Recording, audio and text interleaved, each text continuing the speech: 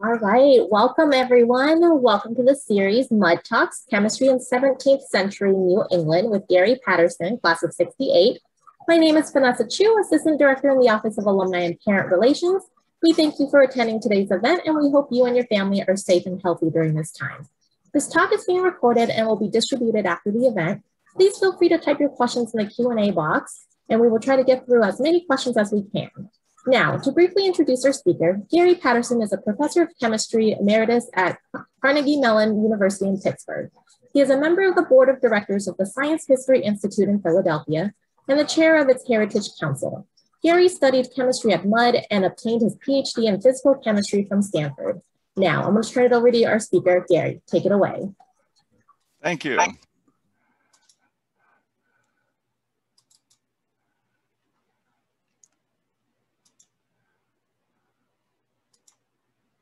There we go.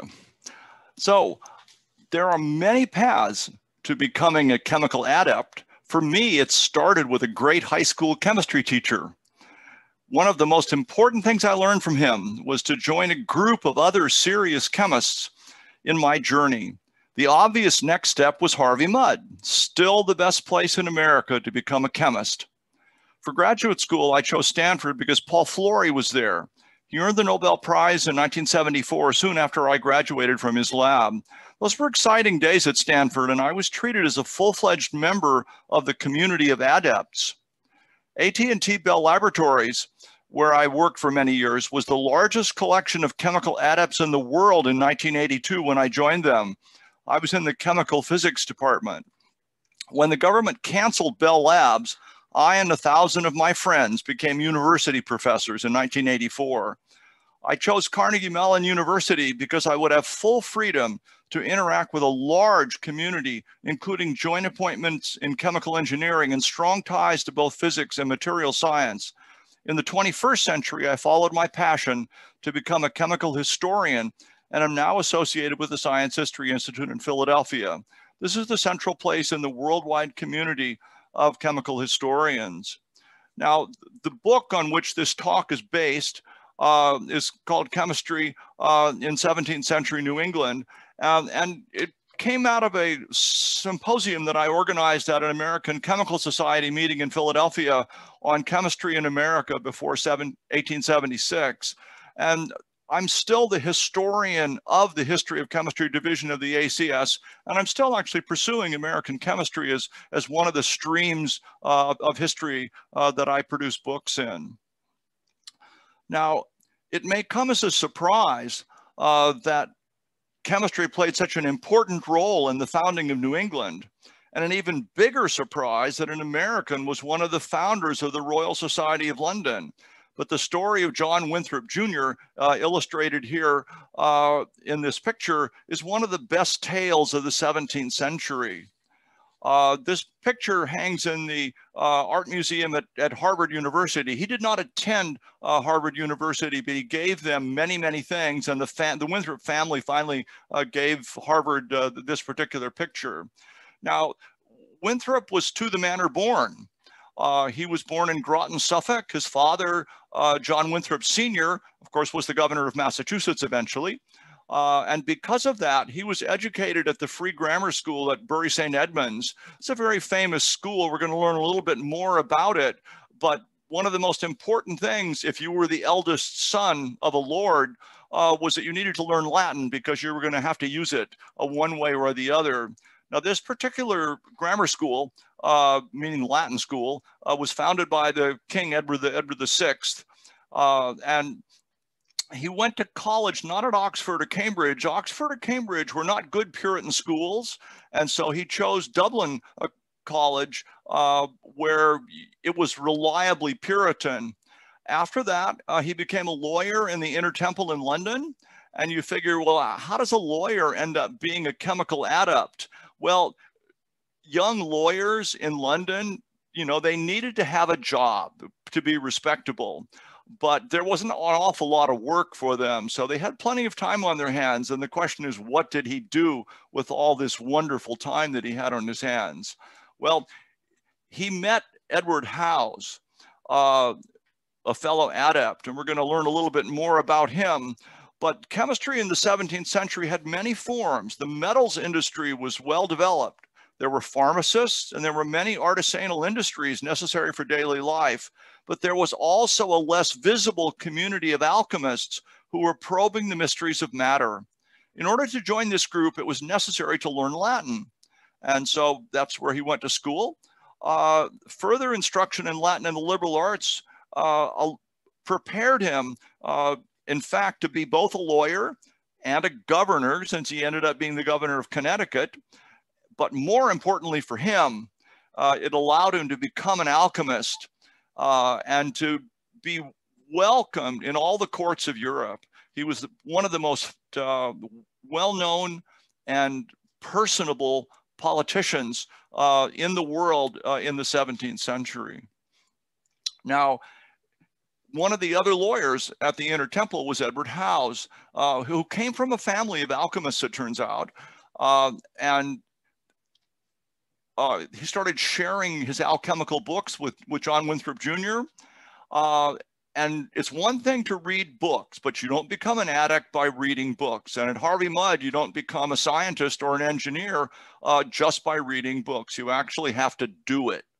And so the second most important thing was to carry out the work. That's what alchemy was called. It was called the work.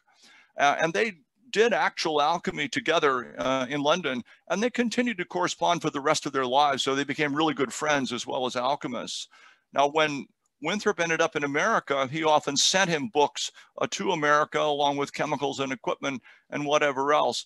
But it, uh, alchemy was a, a, highly infectious for thinkers and doers like John Winthrop. But in order to catch it, you needed to get it from another alchemist. That was one of the things I learned at Harvey Mudd that science was a disease, but you had to catch it from somebody who had it. Harvey Mudd is very infectious. For uh, the practice of alchemy, you had to read the books and then you had to practice with those books open to see if you were really reading them correctly. It wasn't always easy to read uh, those kinds of books, you needed a community of alchemists to talk to and compare notes. And in the end, of course, nobody ever made the Philosopher's Stone, but they did make an awful lot of chemicals and they were able to impact the world in which they lived uh, in many different ways. And Winthrop in, in, impacted his world in all of those ways. We're going to learn a lot, lot about that kind of thing. One of the things he did was collect books. He had the finest library in America in the 17th century, and 275 of those books were alchemical books. Some example of 16th century volumes uh, Arnold Villanova and Raymond Lull were famous alchemists, revered by all of the 17th century alchemists. George Ripley was an English alchemist and wrote in English the compound of alchemy. Uh, so that one didn't have to be translated from the Latin. Now, that he also, of course, had 17th century Basil Valentine uh, was a very good practicing chemist. And unlike a lot of the alchemical books that were really hard to read and understand, they were written in mystical language and whatever else, Basil Valentine also wrote a book on antimony called The Chariot of Antimony. And the recipes in there be done today and you get exactly what he got. He described exactly how to do it. So, so those were good. Uh, and there's just some other examples of, of 17th century volumes that we own, but these classic works, and Winthrop owned them all. He could have all that. Another book, uh, De Re Metallica that allowed uh, the Europeans and to make all the matter of metals. Uh, and in England, they could do that. So uh, this particular book was used by Winthrop in America because he founded an ironworks. Another book that mattered to him a lot is called the Monas Hieroglyphica uh, by John Dee, uh, the same fellow who went to this uh, grammar, same grammar school. Uh, and this is perhaps the most famous of the alchemical books of the 16th century.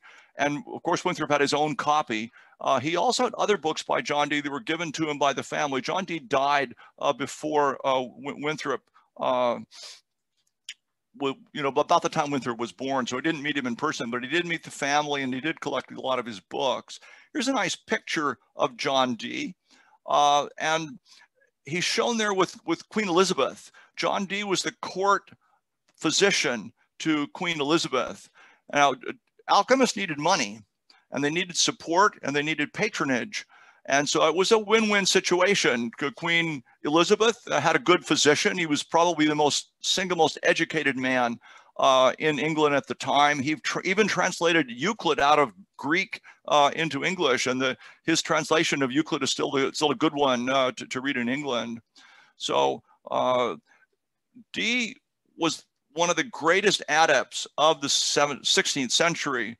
And he had two principles. One of them is chemical truth is found in the laboratory, not just in books. You can't be an alchemist or a real chemist in the 21st century if all you do is read.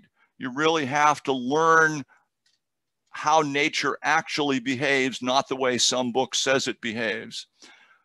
The other thing which we're really unused to hearing in the 21st century is that God, uh, Dee believed that God chose to communicate arcana to a few men who were prepared to receive this knowledge. Since it was a gift of God, a bonum Dei, it must be valued and protected.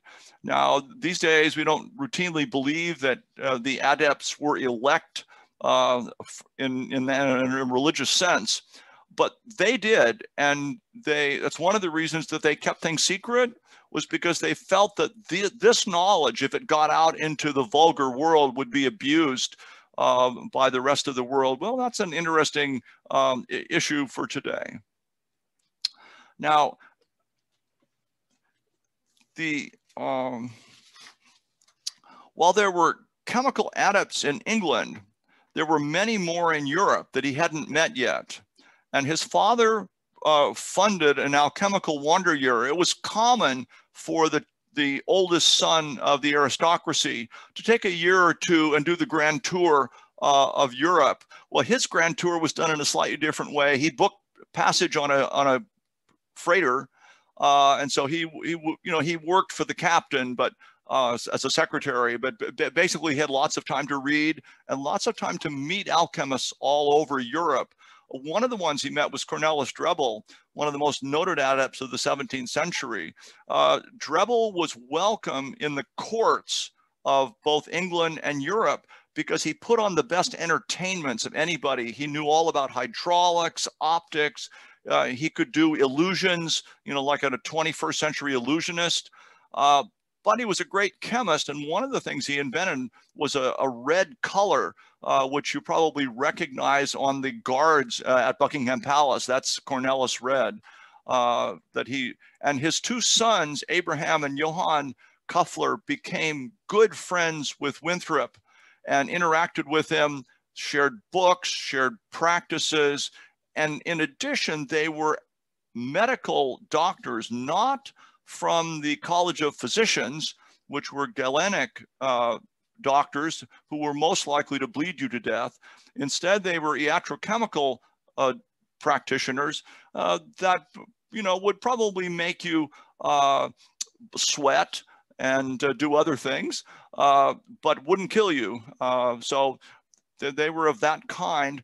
And another person that he met was Jacobus Golius, which was a, a politician uh, who taught him all kinds of things about what you really had to do to make your way in the world if you needed to spend time at court and, and whatever else. So he had lots of good friends from different worlds, in, including the alchemical world.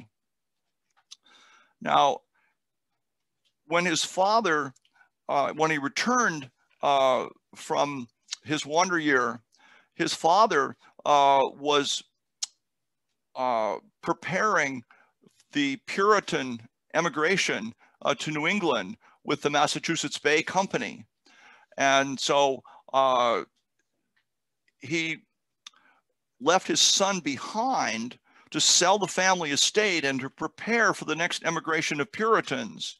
So the, the Puritans, unlike the Pilgrims that had come 10 years earlier, made sure to have a full range of artisans who could do all the things necessary to have a working community, a commonwealth is what they called it. Uh, and so they needed money uh, and they needed more uh, immigrants. So uh, when John Winthrop Sr. set sail for New England, he left him behind to sell the family estate and to prepare for the next emigration of Puritans. And he did such a good job that when he arrived in Boston, he was elected a member of the board of the Massachusetts Bay Company. And he served that commercial entity for many years.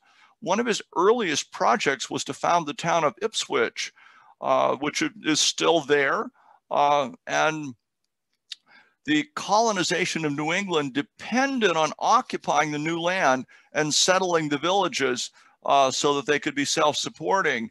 Now, Winthrop is unusual in that he actually bought the land for Ipswich from the Native Americans and had to pay twice because there were always tri multiple tribes that claimed the land uh, that was being purchased. So sometimes Winthrop needed to buy three rights uh, to a mine for something because there were three tribes that, that wanted money out of him. But he always paid for the land uh, that he used. It was very unusual for, for that particular time. So he came to New England. He bought more books. He set up his furnaces and started manufacturing iatrochemical medicines so that he could practice medicine in New England. There were very few practitioners of any kind uh, especially College of Physicians type uh, medical doctors in New England. But you know, people got sick and, and they needed care and whatever else. So so he was early um, into this business, and we're going to learn a little bit more about New England. That's not widely appreciated, but really was very important at the time. And uh, after founding Ipswich, uh, not enough people were coming to uh, New England. And it, it turns out it's kind of a Ponzi scheme that the early settlers, you know, get free land, they develop it, and when new people come, they want to sell it to them uh, and set up. So you need fresh money coming all the time. So uh, John Winthrop went back to uh, England in, in 1635 to recruit more Puritans uh, he bought more books and chemical apparatus. He interacted with the Kuffler brothers again. Uh, and he once again visited all the Puritan uh, lords to encourage them to send people uh, to uh, New England and to send money, you know, to support the Puritan uh, Commonwealth in, in New England. And uh, Winthrop Jr. was very good at, at doing the, that kind of stuff. Now, he came back, he returned to Ipswich, uh, and while he was there, uh, another person from England on his own dime, not as part of any big group, uh, booked passage on a ship to New England. His name was Robert Child. He was a, a, a, a trained, an Edinburgh trained uh, medical doctor. Uh, he was an alchemist and he became fast friends with Winthrop and they practiced alchemy together and corresponded for the rest of their lives. And they were both members of what we're going to learn more about later. It's called the Hartlib Circle. In England, there was a Samuel Hartlib was kind of an intelligencer and he gathered people around him who wanted to talk about natural philosophy and husbandry and you know all the things that make a society great and whatever else uh, and so both Robert Child and John Winthrop Jr. were considered members of the Hartlib Circle. They corresponded, they shared uh, all kinds of things. And later on, uh, uh, Robert Child, you know, then went back to England after this first trip. He returned to New England uh, in 1645, uh, and he was planning on joining uh, Winthrop in an alchemical plantation that we'll learn a little bit more about, but we'll also discover, you know, what else ha happened to him. Now, one of the other things that the colonists needed while they were uh, building up New England was that they needed salt. They, there was lots of fish. They didn't have any lack of that. There were lots of trees to build fishing vessels, but unless they uh, preserved the fish with salt, you know, it was just going to spoil. so it was important to have a salt works, but you know, the, the, the, there was no Home Depot to go down and buy salt. Uh, so Winthrop founded a salt works at Ipswich. Uh, and he did that at a number of places in, in, New England. When New England needed chemistry, Winthrop was there. He wasn't just doing arcana, uh, he was doing practical chemistry. And one of the first things he did was the salt works. But after the English Revolution, uh, travel between New England and England basically ceased for a while. Uh, and people weren't coming because, after all, now the Puritans had uh, bigger fish to fry, as it were. Uh, and so Winthrop said, well, there's a solution to this problem. I'll just found an ironworks. But of course, he needed to go back to England and raise the money. So he was a capitalist. He needed to get the equipment. Uh, and he got that both in Europe and in England. And he needed skilled workers to work in the ironworks. Now, what are the odds that an iron worker was a Puritan? Very low. Okay, so the Puritans needed to learn that if they were going to survive, they couldn't all be Puritans, and the ironworkers were definitely not Puritans. So on his trip to um, capitalize the ironworks, nobody was really listening the first year he was there, and he realized that pretty quickly. So in, rather than wasting his time, he headed for Europe and he met a lot more alchemists. One of them was a medical doctor, Johannes Tacmaris, who really taught him a lot about how to be a iatrochemical physician. Another one was the Reverend Johann Morian, uh, also a well-known uh, iatrochemical uh, doctor in Amsterdam. One of the things about Morian was that because he believed that God had given him the secrets to the chemicals he was making, that he should treat his patients for free. You say, no, wait a minute. What? When was the last time a physician treated people for free? Well, they actually do it all the time. Ask a physician how much work they actually do for free. It's still still going on. But Morian was a, a good example uh, of an iatrochemical physician that treated his patients for free. Uh, so did John Winthrop Jr. He never charged a nickel for that stuff. Now, the other thing that he met on this early part of this trip was Johann Glauber, the greatest chemist of the early 17th century. Uh, he knew how to manufacture hundreds of different kinds of things, colors, uh, things like Glauber's salt, uh, which is sodium sulfate, uh, and many, many other things. Glauber was the man who actually knew how to do it. He founded industries in Holland and in Germany. And he and uh, Winthrop really hit it off with, with, with all these kind of people. So uh, he was very good at all these kind of things that required politics, that required finances, required chemistry, uh, and, and, it required a community of people uh, to actually do the work. Now, the Hartlib Circle, which he also visited on this, this trip, uh, included Samuel Hartlib and people like Sir Christopher Wren, okay, uh, John Milton. You say, I thought John Milton was a poet. You would be amazed how many poets in England were actually scientists in addition. Uh, Sir Kenelm Digby was an alchemist. And you say, wait a minute, his day job was a pirate. Why would he be a pirate? And the answer was that England was at war with France.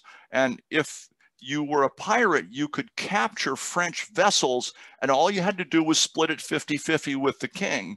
So the that if you say, you say, what I'm going to be when I grow up, I'm going to be a pirate and work for the king. That's who the pirates work for. Now, another person that became a good friend to John Winthrop Jr. was Benjamin Worsley. He was a natural philosopher, one of the founding members of the Royal Society. He was an alchemist, and he was a politician. So he helped uh, Winthrop a lot, and he became a good friend with Robert Boyle. Uh, how do you suppose Winthrop was able to get access to the king uh, and, to, and to people like that? Robert Boyle is the answer to that, that question. Boyle was rich he was an alchemist, and he was a good friend of Charles II, uh, you know, who was the king after the, the, the Puritans, you know, blew it uh, in the English Revolution. The people said, look, enough of this stuff. We're going back to the king. Uh, Charles II was actually a very, very interesting man. Uh, and Robert Boyle was one of his bosom buddies. So this made good things for, for Winthrop. Now, one of the things that he learned in the Hartlib Circle was that if progress was going to be made for all the world, there would need to be people whose focus was on benefiting humankind, not just on making money. There's nothing the matter with making money. Harvey Mudd is dependent on that. And Carnegie Mellon was founded by Andrew Carnegie, who believed very much in work and money. Harvey Mudd believes in work and money, just like Carnegie Mellon.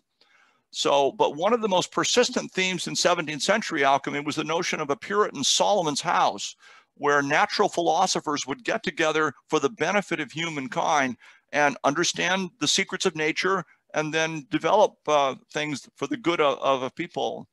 And Winthrop gained a vision to do that. And he had both the political power and the vision to found such a place, which was New London, Connecticut, which still exists.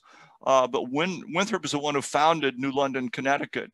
And as I mentioned, he treated his patients for free. His most famous medicine is called rubila. It's an antimony-based medicine, and it was colored red because people felt that a red colored medicine actually had some efficacy to it. Uh, it did make you sweat like crazy. Now, at his alchemical plantation uh, in New London, uh, he developed lots of people to work with him and Robert Child was one of them. Uh, another one was Richard Leader. Now, Richard Leader was the chief ironmonger at the ironworks uh, that Winthrop founded. And eventually, uh, he got tired of, of, doing ironmongering, and the uh, people in England who were the capitalists uh, fired him. But uh, he didn't mind because he was an alchemist, and he and Winthrop went on to make make money and do do good things otherwise. Thomas Peter uh, was his uh, was a Puritan relative. He was married to uh, another Peter's uh, daughter, uh, and so and George Stirk or Starkey is the most famous literary uh, alchemist of the 17th century, and he wrote lots and lots of books in Latin. as and with his pen name was Irenaeus Philalethes. these books are extant and the Science History Institute has real copies of all these kind of things. So I get to pet the pet the books when I want when I'm there. Uh, but Starkey was born on Bermuda and educated at Harvard. Why would he have gone to Harvard? Because Harvard was the best education in the English speaking world in the 17th century. Graduates from Harvard were recognized at Oxford and Cambridge as having gotten a real degree and they could go on uh, and take further courses uh, at Oxford or Cambridge if they wished. Um, so Starkey was educated at Harvard. You say Starkey was an alchemist and a medical doctor. How did he get that at Harvard? They didn't have a medical school. They didn't have a chemistry department. How did he do that? Well, it turns out that the most of the teaching at Harvard was done by the president of of Harvard, who was a natural philosopher. And in addition, you know, to, to teaching uh, the other parts of the quadrivium and the trivium, uh, he taught natural philosophy, which included chemistry, uh, the theory of matter. Uh, and so Starkey uh, learned that from him. He also needed a job, you know, he wasn't rich. So he needed a job. So he apprenticed with a practicing iatrochemical physician in Boston.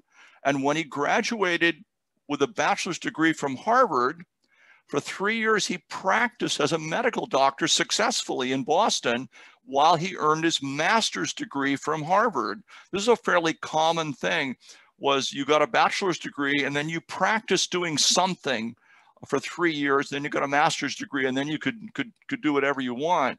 Uh, Starkey was like that. And the question is, well, why did he go to England? And the answer was that he was not the right kind of Puritan. And so he was really driven out of America by Puritan intolerance for other Puritans, sort of like the governor of Rhode Island, Roger Williams. Did ever did you know that he was a Puritan, but he was the wrong kind of Puritan. So he came to New England on the same boat as John Winthrop Jr. when Winthrop was in charge of, of that boat. Uh, and he was a regular Puritan minister in New England for a number of years until it became clear that he was the wrong kind of Puritan. And so he founded Rhode Island. Turned out okay for us, but uh, interesting politics and religion in those days. Another friend uh, of, of Winthrop was Jonathan Brewster, who was an Indian trader and alchemist. Everybody needed to make a living. Okay, so Jonathan Brewster was from the pilgrim side of the New England. There's, he was a child of that of the pilgrim side, but he became a, an alchemist and an Indian trader because he needed to make money and he was good at it. And he founded a, a place to trade with the Indians pretty close to New London and then work with, with Winthrop on his alchemy. Another person who was a Harvard graduate was Gershom Bulkley.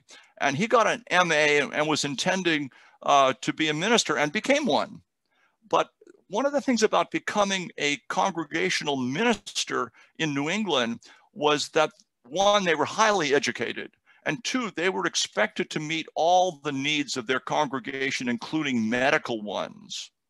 And so Bulkley, like Starkey, during his master's period, apprenticed himself to a, an alchemical physician and earned the right to practice medicine in New England. He wouldn't have been allowed to practice uh, in England, there's an interesting footnote to Starkey's life. He died during the plague, the bubonic plague in London. Now, why was it that he was still in London during the bubonic plague? It's because the College of Physicians doctors all fled and only the iatrochemical physicians practiced medicine during those years, and many of them died uh, because they were treating people with the plague.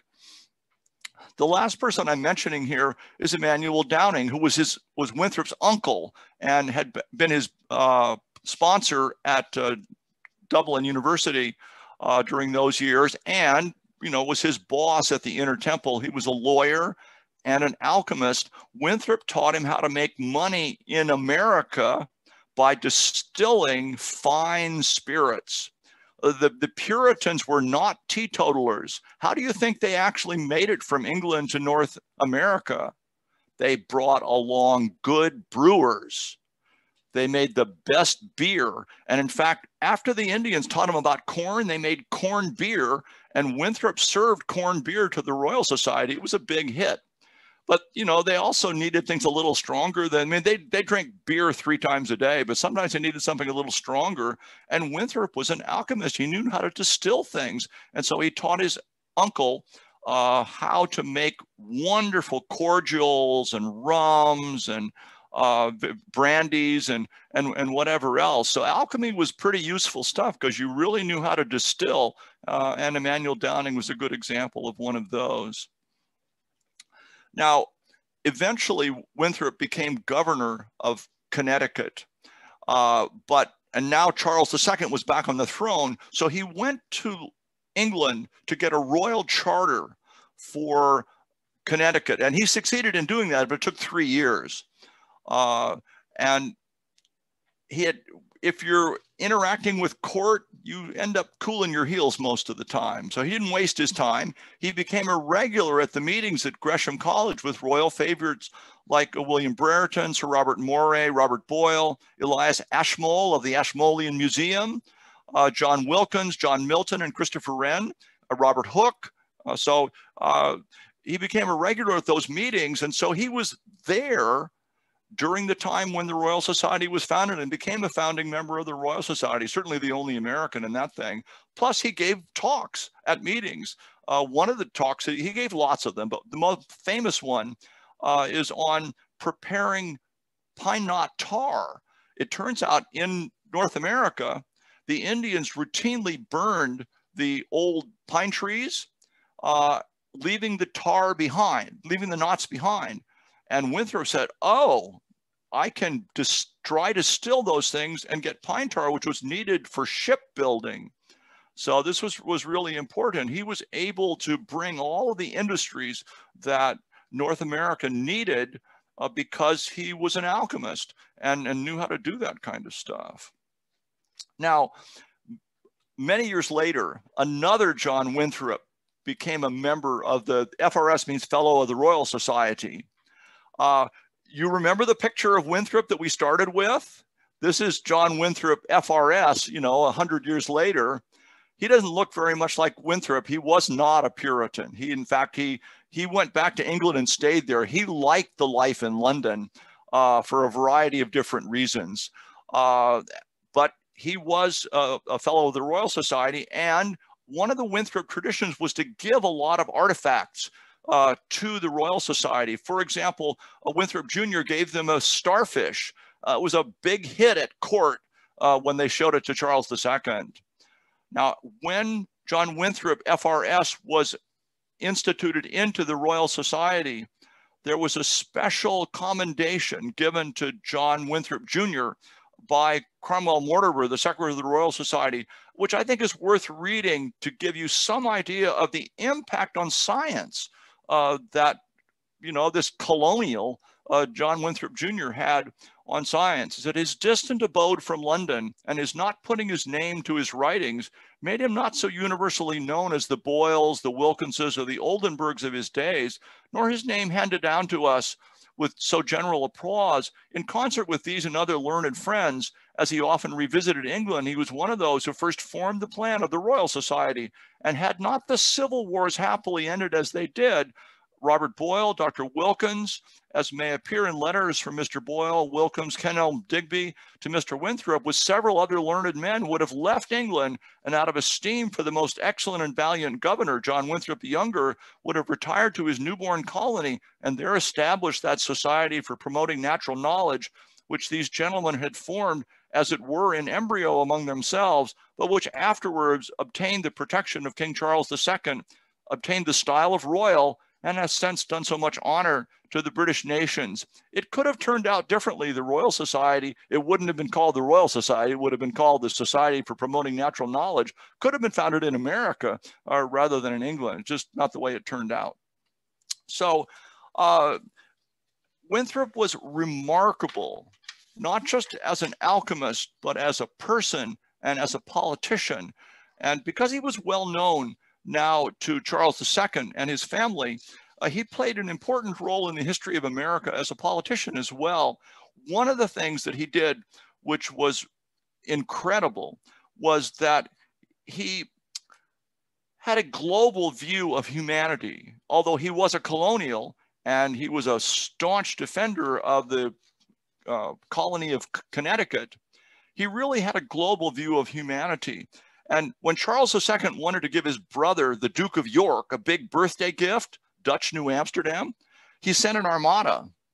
But it was quiet diplomacy by John Winthrop Jr. that convinced Peter Stuyvesant, the governor of New Amsterdam, to simply agree to a change of government with no loss of life or fortune. They didn't steal anybody's land. They didn't take away their fortune. They just gave them better governance than they were getting. Winthrop also served an important function in 17th century New England. Because he was a recognized alchemical adept, he was able to save many women who had been accused of being a witch from death. Scientists have a moral obligation to use truth for the benefit of humankind, and Winthrop was that kind of man. Thank you very much.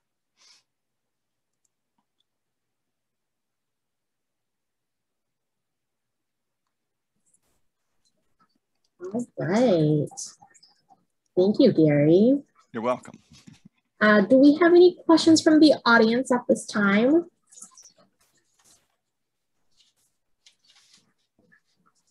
Uh, you're more than welcome to place them in the Q&A, uh, but I do have a few questions from pre-submitted, so I do want to ask you about that.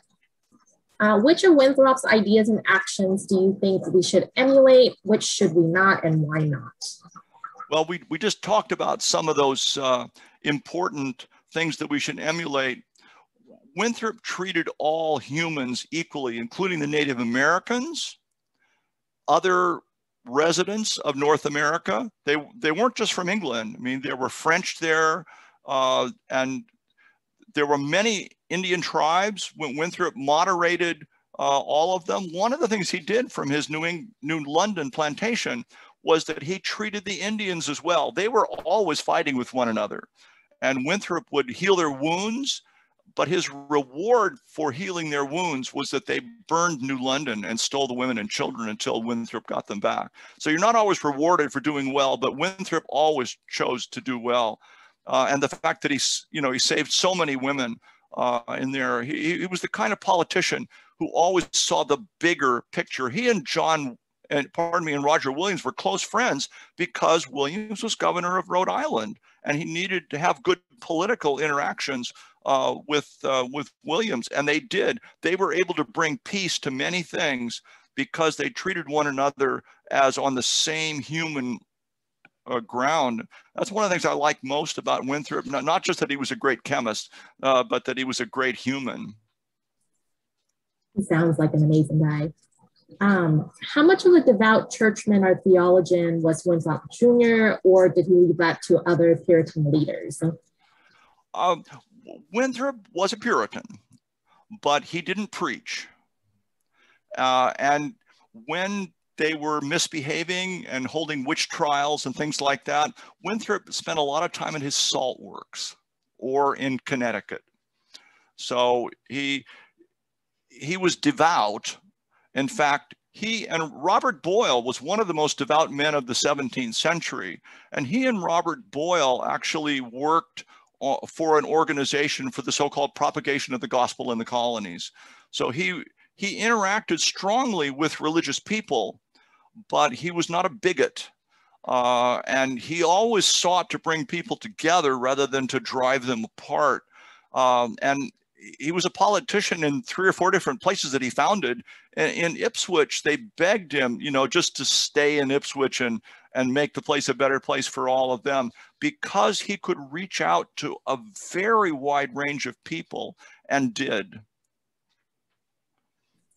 Thank you. Um, our next question, can you speak more about the impact of Winthrop on the development of chemistry in, in America in the 18th century and beyond? And is there an American style of chemistry and is it influenced by Winthrop?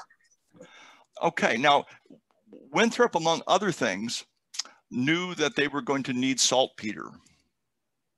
And so he purchased an island off Connecticut on which he raised sheep and goats and whatever else. And he collected the excrement uh, and he manufactured saltpeter the American style of chemistry in the 17th, 18th, and 19th century was very practical. They needed things and they were willing to do it themselves. They didn't have to wait for stuff to come from abroad. Some things they did, but on the whole, the Americans were eager to actually do it themselves. And Winthrop was a good example of that. Because he knew all of chemistry in his time, he could apply it to practical things. And Americans' chemistry in the 17th and 18th centuries was really focused on practicality. What do we need and how can we make it? So they focused on mining, they focused on various aspects having to do with wood I mean, what resources did America have? They had lots of trees. Uh, but took people like Winthrop to get the most out of the trees. Just burning them was not a great idea. And it turns out you needed trees to make salt. And the reason was it rained in New England. What do you do when it rains? You're going to let it, the, the water wash in and get rid of your salt? No, he, he built salt boxes that you could close when the weather got bad. So he even had, he thought like a chemical engineer. And industrial chemistry uh, was not a dirty word in the 17th and 18th century. Uh, they needed people that could actually produce chemistry, not just twaddle on about phlogiston. Uh, Winthrop was the kind who knew all the theory, but was always focused on stuff you could actually do. Uh, and he delivered on the stuff that he promised to do. Great, thank you. Um, our next question, how would you describe these alchemists' theory of chemistry? Why and how did it work? Okay, well, first, of course, it didn't work. Okay, but the the kind of alchemical theory was Paracelsian alchemy. Uh, so it was focused on preparing arcana from real materials. Uh, and it was believed wrongly that all metals were made out of mercury and sulfur. It was just a question of how they mixed. So they had a continuous view of matter. Now we look at matter and we don't see the atoms with our eyes, and neither do they. They felt that everything was actually a mixture of one kind or another, uh, and that if you knew the right way to mix things, you could make anything starting with the fundamental materials. Uh, so there was a more sophisticated version that added salt to mercury and sulfur. Uh, and people like Glauber uh, had a mercury, salt, and sulfur thing. Uh, but of course, you're not going to make organic materials out of that. so uh, Winthrop was, he knew the theory, but he didn't let it stop him from accomplishing things. If what you wanted was saltpeter, it's a very complicated process to make saltpeter. And interestingly, the key element in making saltpeter is biochemical. You start with ore that actually has trapped bacteria on it that are millions, maybe billions of years old. And you grind it up and you put it in water exposed to the air and the sun, but it's the bacteria that oxidize the urine, you know, which is the key ingredient to make the nitrate. Uh, it, they're being oxidized by bacteria. So it was actually biochemical. Winthrop was all about actually doing it. He didn't get hung up. He followed, he read the books and he did the stuff, but he didn't waste his time uh, thinking about arcana uh, when he could be actually doing stuff that benefited people, like making rubila his, his medicine. So his real focus was on doing it, but of course he had all the books. He read all the stuff. The, that theory of alchemy was not correct, but it also wasn't incoherent. Uh, and there's a difference between a theory which leads to good experiments uh, and progress in understanding physical reality or chemical reality and something which is incoherent like phlogiston, which didn't ever help anybody do anything. Uh, so it, the, the theory of alchemy, the old theory of alchemy was wrong but it was not incoherent and it was actually a progressive paradigm because of the experiments that resulted uh, from what they did. Uh, probably the most famous of all the alchemists of all time was Isaac Newton. And there's a wonderful recent book by uh, William Newman uh, talking once again about Newton's practice. He spent more time doing chemistry than any other thing that he did. The thing he spent the second most time doing was religion. How many people knew that Isaac Newton was one of the most religious men of all time? You probably didn't see that in your physics books, but it's true.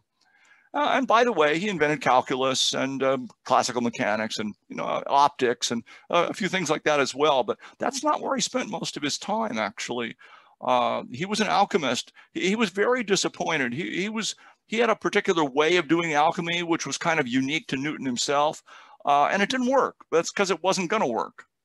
But what he did do was discover all kinds of chemicals that did result from the experiments they were doing, and as did the other alchemists. Thank you. Um, what was the role of niter beds? Okay, the, the niter beds were how you went from the urine to saltpeter. Okay, and niter beds had to have the bacteria in them, otherwise they didn't work.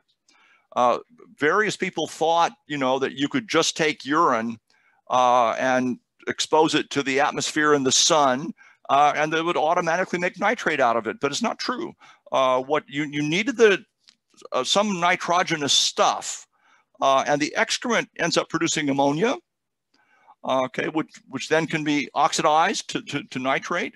But it was the uh, the night niter beds that had the bacteria in them that actually carried out that process. So you needed to have a weak nose in order to be in the saltpeter business. Um, and in England, there were so-called petermen, you know, you, who went into barns and into outhouses and whatever else and harvested the stuff. Uh, it was an interesting industry. Uh, to, to say the least. But some of the natural philosophers in the Royal Society wanted to speed up the process. It never worked for them because when you tried to speed it up, you didn't give the bacteria enough time to actually oxidize the uh, ammonia to, to nitrate. Uh, but once you had a going niter bed, you could add more urine and make more saltpeter. And so once it was known, it's like having a starter for making sourdough bread. Once you know the starter works, you don't take it all, you, you keep some back. And a niter bed was a living organism, uh, which was not understood at the time, but it is now. But biotechnology has been with us for at least 35,000 years. Wow, thank you. Um, next question, did the ironworks he founded survive? And if so, what happened to them next? The ironworks that he founded is actually a natural, uh, a, uh, a national park now. It's at Saugus in Massachusetts. Uh, the buildings have been recreated and they work. Okay. Uh, making iron is not an easy process. Uh, first, you need a source of iron. Uh, it turns out that Massachusetts is loaded with iron because there are all these bogs. The water comes up from above, and there are bacteria in the bogs that reduce the iron to a form called bog iron. It's a hydrated iron oxide. Uh, and you can use that to, to actually make pig iron. So first you needed a source and there plenty of there was plenty of bog iron. Uh, you need trees because you have to make charcoal. Uh, but most people who try to make charcoal just end up burning the house down. You needed skilled workers who knew how to make charcoal. Well, Winthrop imported them from England. Uh, that so you do that. Uh, in it, then you need to beat the pig iron to make wrought iron, and the the the ironwork was called Hammersmith and you have these water driven hammers. So you needed power. Where do you get power in Massachusetts? From the rivers. So uh, he actually founded two sites. One of them was Saugus, where the Hammersmith Works was, and he also founded one at Braintree, uh, where they they got things going, uh, but eventually they had a better site there. But throughout New England, people figured out water power was going to be how it was going to make many things happen, including ironwork, because you needed to beat the iron. Then you needed to slit it, turn it into rods, make nails out of it. The Hammersmith Works did all of that. It's a wonderful national park, and it's online. I mean, you, you can go online and see it, and it's in my book. I mean, you, I have an entire chapter on the Hammersmith Smith Works in, in, in my book. So feel free to buy it. It's it's on Amazon. Great, thank you. Um, so our for our final, I'll actually have two other questions. Okay, so uh, if you could go back in time and ask Winthrop a few questions, what would you ask him? Ah, if I could ask Winthrop questions. Hmm, that's that is a really good a good question. I probably ask him how he was able to negotiate the treacherous political worlds in which he traveled and stay alive because so many people were being killed for one reason or another. Uh, he, Roger Williams fled to Rhode Island, but other people were killed. Uh, he wasn't killed. Other people were arrested, like his friend Robert Child. William was spent time in jail uh, why? Because he was the wrong kind of Puritan and he sent a remonstrance to the governors of Massachusetts, reminding them that they were citizens of England and that they were obligated under the crown to allow worship according to the laws of the Church of England. Whereas in Connecticut, you had to be a Connecticut Puritan in order to vote, hold office, and sometimes even eat. So the idea of sending a remonstrance to the politicians uh, did not go down well. They fined him a king's ransom. 200 pounds in those days was a king's ransom. They fined him a king's ransom for having the audacity to remind them that they were violating the rights of British citizens in what they were doing in Massachusetts. But they, they, they were not eager to hear that from him. So he went, went back to England. Great, thank you. So our final question, uh, seems like a lot of the famous people from this era were uh, alchemist types. How were they viewed in society at large? Eccentric rich people, creative geniuses? The, it various kinds. I mean, one thing you could do as an alchemist is that you could bring your family into poverty. And J Jonathan Brewster basically spent too much money on the alchemy and his wife wife and children suffered suffered quite a bit.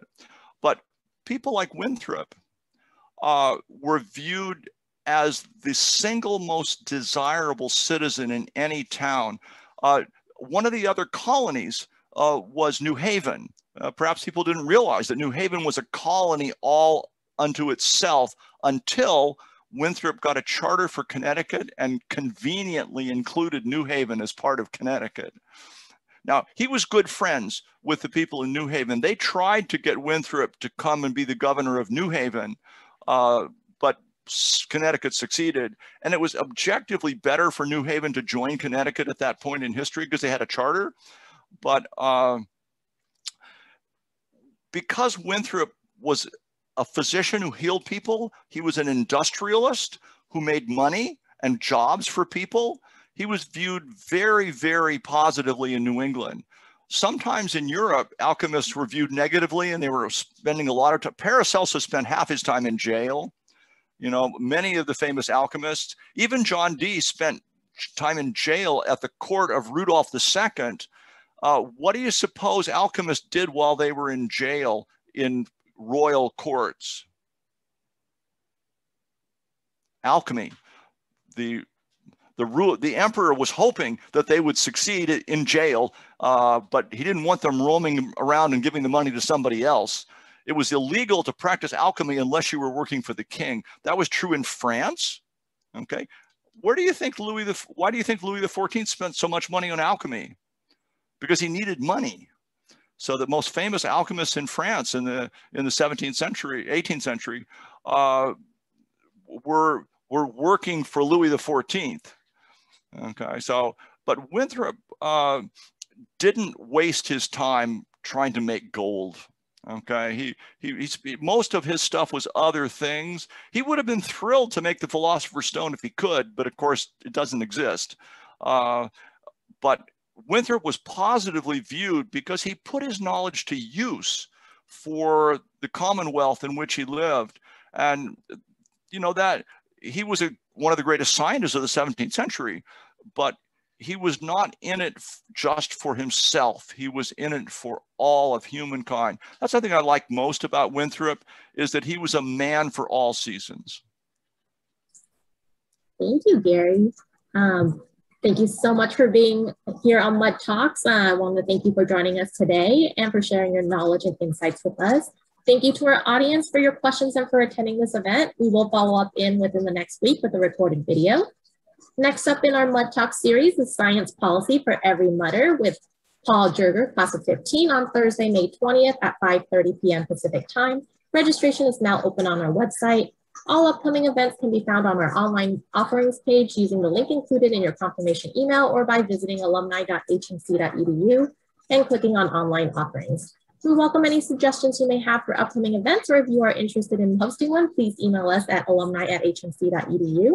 Thanks again for joining us and have a great night, everyone. We'll see you next time. Thank you, thanks, Mary. thanks to Harvey Mudd uh, and the Board of Governors uh, of the Alumni Association and for Vanessa, you know, for making this a fun event.